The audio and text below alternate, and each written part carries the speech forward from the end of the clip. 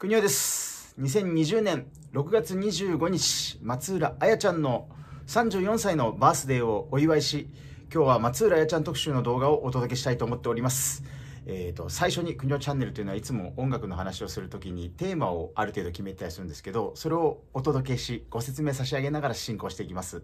えーと、まず最初は、えーと、松浦彩ちゃんの全体の活動の流れですね、えー、とそんなに長くなく架け橋で、えー、2001年から2013年というところを振り返っていくそんな形のお話をしたいと思っております。そして2つ目松浦彩ちゃんの、まあ、キャラクターそして特徴ですか？えっと、どのような形の女の子女性、えー、歌歌手のタイプだったのかみたいなこと。これを2つ目でお話したいと思っています。そして3つ目、えーと、今の2020年基軸で J-POP であったり歌手アイドルうんその辺はどういうふうに見るかというのは後ほど説明しますけれども今ぜひ聴いてほしい曲という3曲を紹介して、えーと松浦彩ちゃんのお誕生日おめでとうという言葉を最後に同じことですけどねえー、とお祝いをして、えー、とこの動画を締めたいと思っております。お付き合いいただけたら嬉しいです。では早速お届けしていきましょ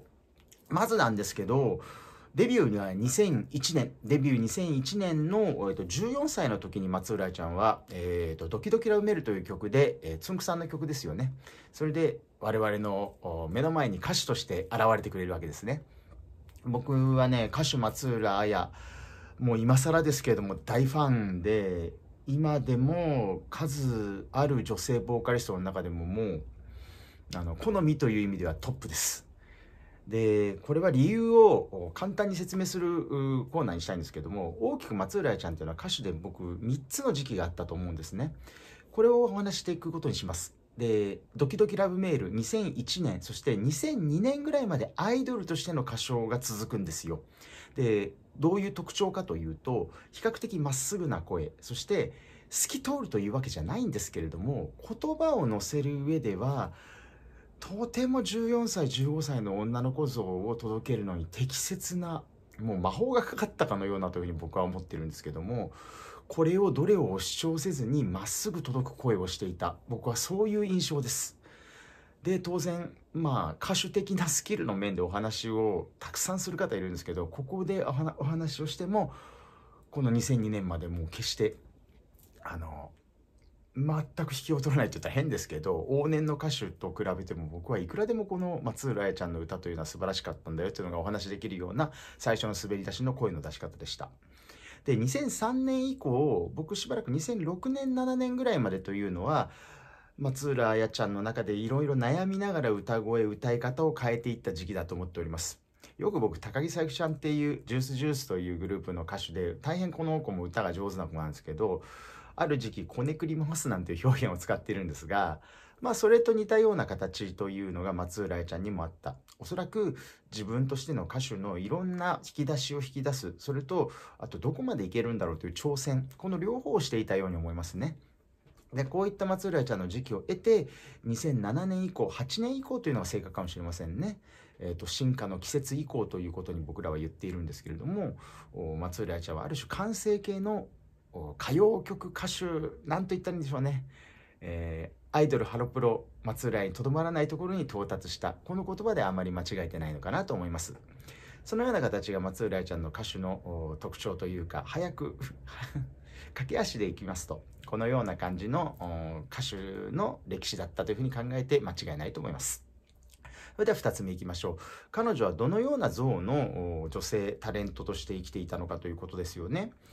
えー、ある種最初の1年半僕よくこの松浦愛ちゃんの話をしているのは「ドキドキラブメール」のデビューから「草原の人」というこれミュージカルなんですけどこの頃2007あ失礼2002年の最後の頃までである種アイドル松浦屋というのは一つ区切りがあるんですよ。これはどういうところかというと歌い方先ほど申し上げたところもそうなんですけどキャラクターとしての松浦綾というところがどこかもうどっちなんでしょうね本当の松浦を出してきたのか思春期特有の、うん、もっと自分をもっと自分をとなっていく松浦がその頃出てきたのかそこはちょっとわからないところがファンとしてもあるんですが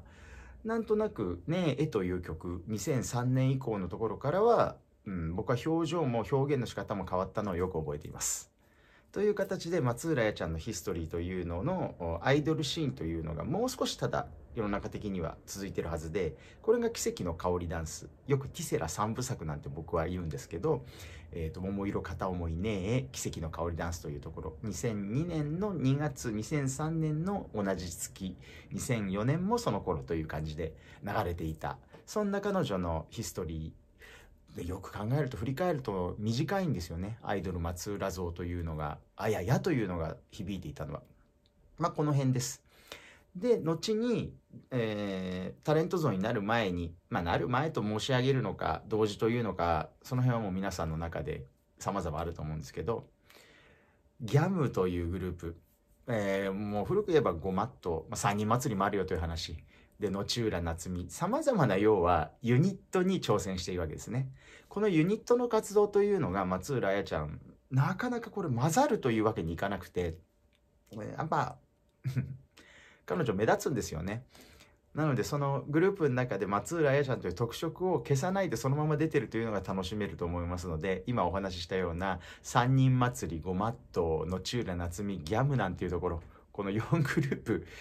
でも1曲ずつぐらいでポンポンポンと聴けたりすると思うので聴いてみるのも今面白いんじゃないのかななんてそんなことを思い返します。ね、でタレントになる部分の松浦彩ちゃんというのはこのハロプロの中でもちょっともうお山の大将って言ったら変ですけどかなり偉い感じになってきちゃってるところがあったんですが芸能界に行くと少しまた賢さっていうのが出てくるんですけどなんかお話の仕方立ち位置の作り方、まあ、この辺がタレントあややというところが確立されていくというのがまあもう2007年8年以降というところにあったような気がしてます。同時に女優なんてのもやってましたからね、えー、青の炎であったり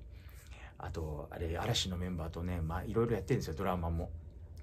そのミリオネア的なやつでしたね。もうタイトルで忘れしちゃって調べとけよって話なんですけどね。まあまあすいません。そんなような形で様々な活動をしていたのが2000年代後半だったと思います。で彼女のキャラクターというのはもうファンから見ていると僕は常に何て言うんですかねちょっとヒヤヒヤしながら見るような感じが後半はあったような印象ですね。まあそしてえー、健康であればということをよくお話してますけど少しその子宮の病気というところが出てきてから活動がゆっくりになりそれでファンクラブアヤウェイというねファンクラブがあったんですけどそこでのイベントというのが年に1回2回ぐらいになってきたりするタイミングに入りそれでも歌手としての実力というか歌の自分の持ち場というところですか？が出てくるともうあの感動って一言で表すとちょっと安いんですよね。うんなんだろうなこれ松浦ファンになった人たちとそうでない人たち僕両方に伝わると思ってるんですけど松浦って伝えられる領域が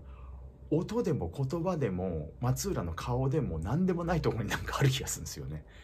これ本当に究極の歌手ってこういうところにあるんじゃないのかなと思っていて空気が作れるっていうのはこういう人のこと僕言うんじゃないかっていうふうに見るたびに思っていたのを記憶してます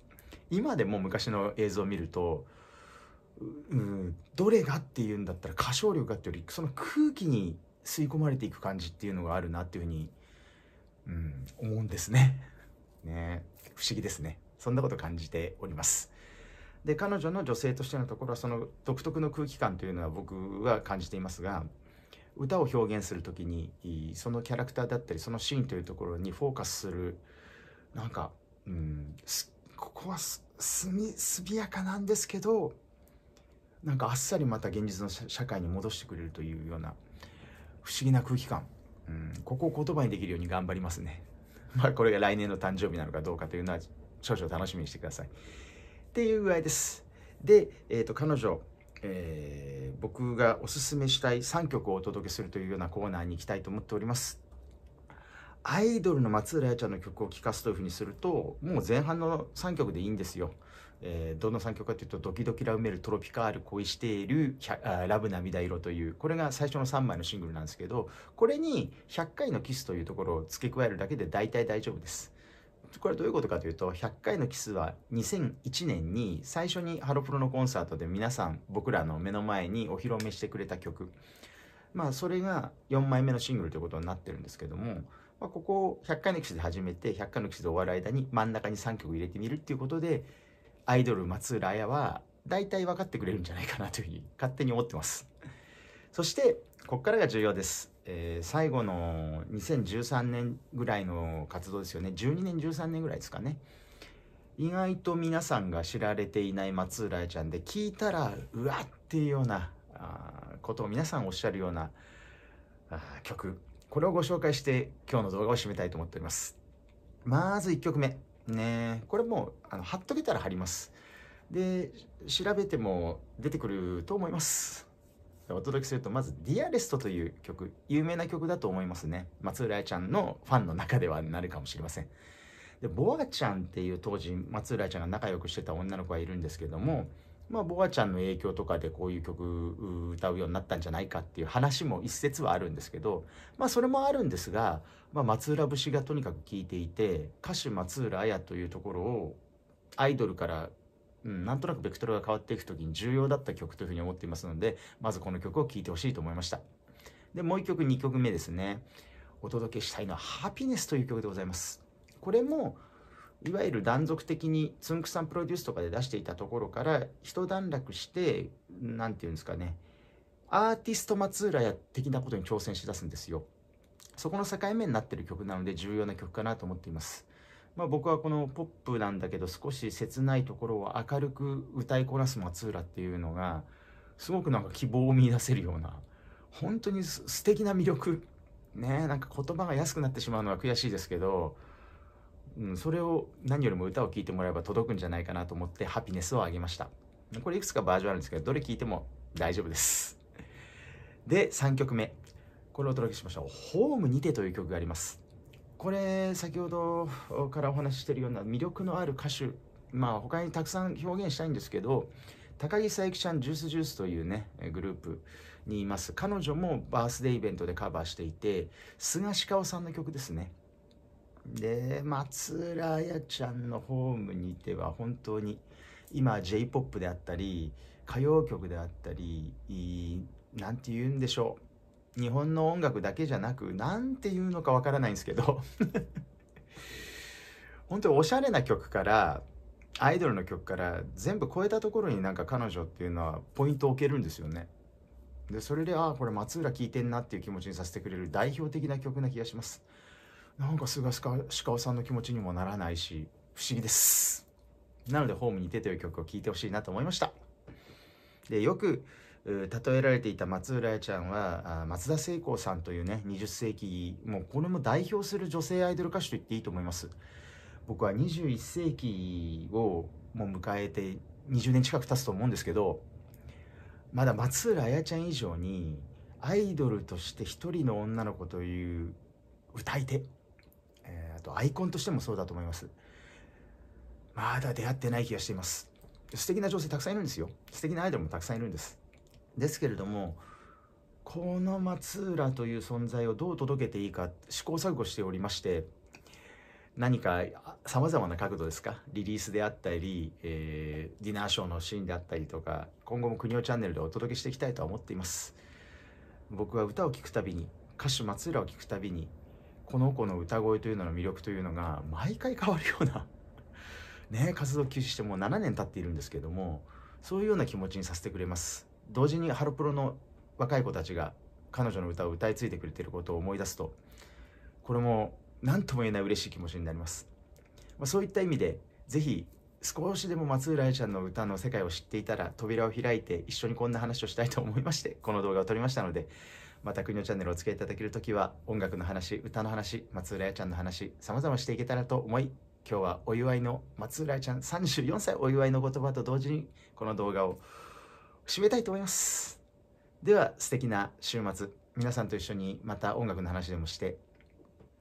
より良い人生を謳歌していきましょう。また会いましょう。